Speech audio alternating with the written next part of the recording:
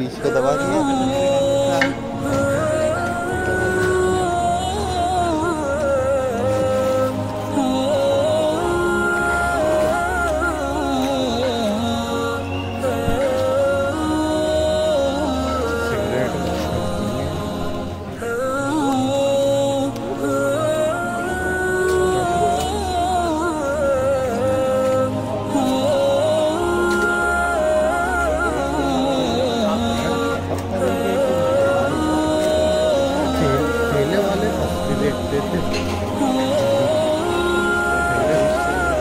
अब में कुछ मिलेंगे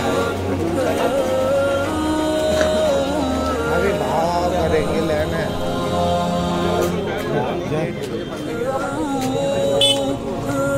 Thank